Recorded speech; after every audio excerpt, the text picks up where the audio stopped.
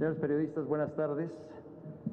Encabeza La madrugada de hoy, fuerzas federales, encabezadas por la Secretaría de la Defensa Nacional, detuvieron en el municipio de San Pedro Garza García, en Nuevo León, a Oscar Omar Treviño Morales, jefe de un grupo delictivo con presencia en diversas entidades del país y cuyo asiento ha sido ubicado en el estado de Tamaulipas.